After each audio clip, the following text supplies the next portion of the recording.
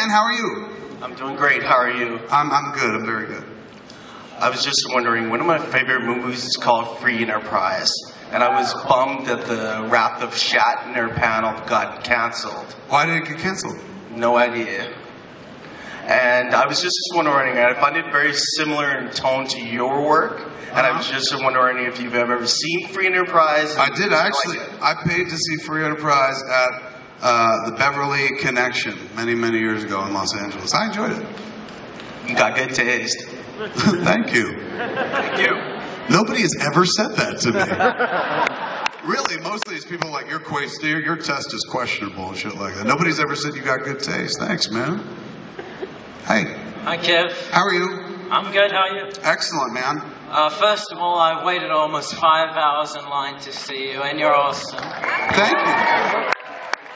I'm telling you, you don't need to wait five hours in line, though. You just come to my house, knock on the door, and, and say, come down here, and I'll do it. but I might be carrying chicken, so.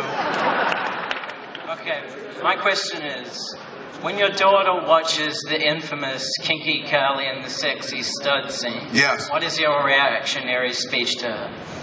Um, I will be like, that's the kind of love you want in your life. A guy who'll, uh, don't, never mind, you don't want that guy. I don't know, I, I wouldn't, it wouldn't bother me. I'd be like, that's what I thought was funny back in 2008 or 2006, you know what I'm saying? And I'm sure she'd be like, oh, dad, it's so immature. And I'd be like, yeah, I know. But no, I'm not afraid of her watching the stuff, man. I'm kind of actually looking forward to it because I'll take criticism from her. You know what I'm saying? If, like she watched it, and years from now she's like, I don't know, man. It's kind of one dimensional, and all the characters sound like you. You know, I believe it from her coming from. I'd be like, all right, right on. But what have you ever done?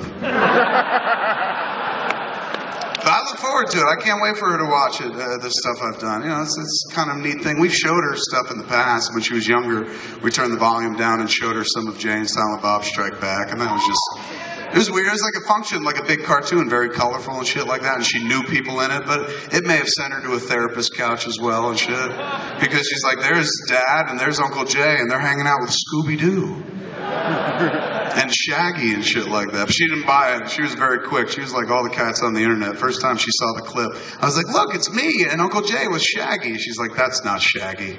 Shaggy has a green shirt." And I was like, "Oh, you're just like Harry fucking Knowles. Get off my ass." All good, man. Thank you. Thank you, sir. Thanks for waiting for five hours. Sorry about that. Look at you. You're barely dressed. What's going on? Hey, Kevin. Hi. What's your costume? Uh, well, I'm Asylum. Yeah, I, I'm the goddess of a good time. And it's called Asylum? Yeah, it's actually my name backwards, Melissa.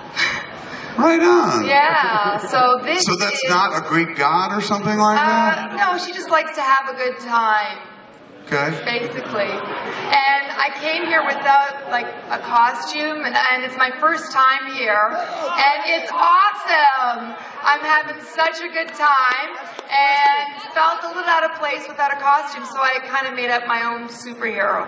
Right on, man. Yeah. So I'm here to talk to you as a, you know, Comic Con virgin. Okay. Uh, what was one of your most memorable experiences here? Uh, we showed Mallrats here back in 1995. Yeah. That was the first time I ever came here. Uh, I'd read about the con my whole life and shit like that. Read about it in Fangoria and Starlog and magazines like that long before the, the internet ever existed. Um, you'd read about it in the back of comic books. Stan Lee would talk about it in a soapbox and shit. Never got to go myself, lived on the other side of the country. And then when we made Mallrats, we brought it here to screen at Horton Plaza. Was like a 300 seat theater. We gave out tickets, packed it, and screened it. And it screened religiously, man. It was just like, like the, eh, the, the fucking Universal execs who were there were like, holy shit, these fuckers made E.T. Because the audience fucking responded so rapidly to it. It was a film that was made directly for that audience, so they based everything on the Comic Con screening and shit. Then when it went out into the real world, it was generally ignored, and so they were like, "What happened to all your nerd friends?" I was like, I guess they were seeing something better than that. They all saw it in Comic Con.